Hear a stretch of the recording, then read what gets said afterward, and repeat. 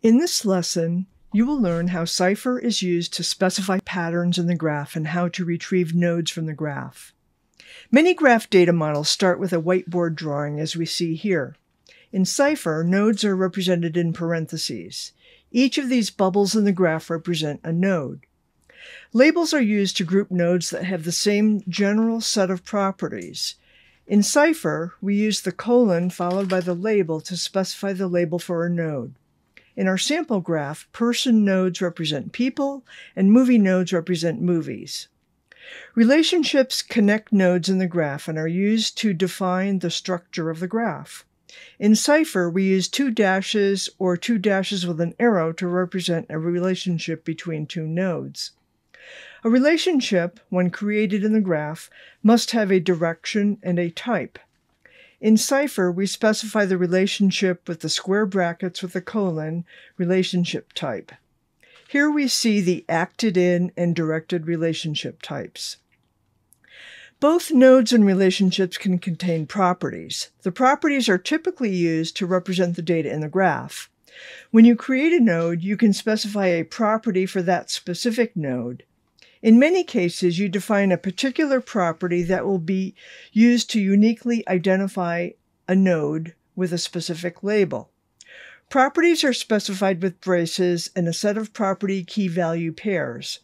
In this example, one person node has a name property of Tom Hanks, and one movie node has a title property of Cloud Atlas. You can specify a pattern in the graph. Here is a pattern that we could use to retrieve the person nodes of a person named Tom Hanks who acted in the movie Cloud Atlas. Completing the Cypher code, we use the match clause to retrieve the data in the graph, and we use the return clause to return a person node P and a movie node M.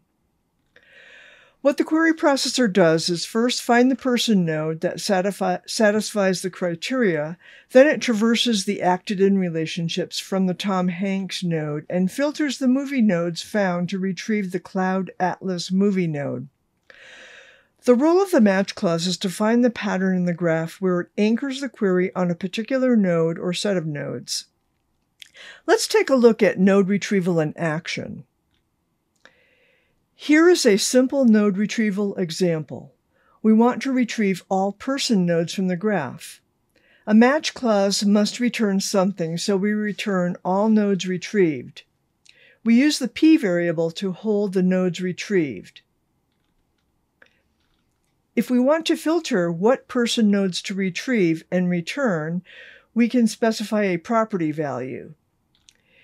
In Neo4j browser, we can view the node returned as a graph, or we can view the properties of the node in table view. You may want to return specific properties.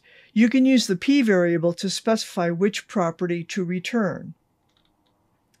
Another way that you can filter the same query is with the where filter. Here is the same query. The advantage of using a where filter is that you can provide logical expressions to make your query more flexible.